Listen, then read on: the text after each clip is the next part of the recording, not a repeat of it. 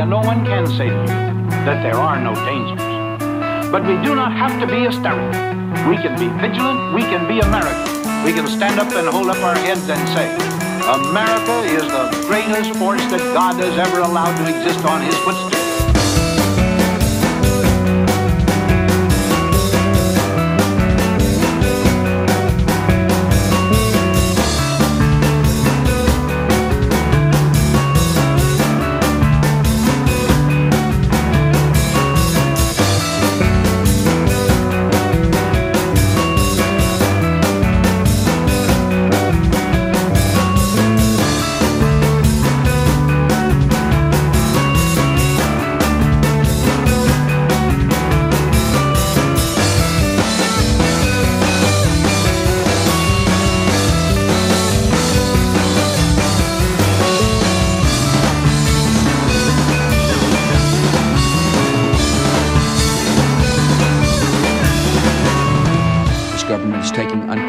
Measures to protect our people and defend our homeland.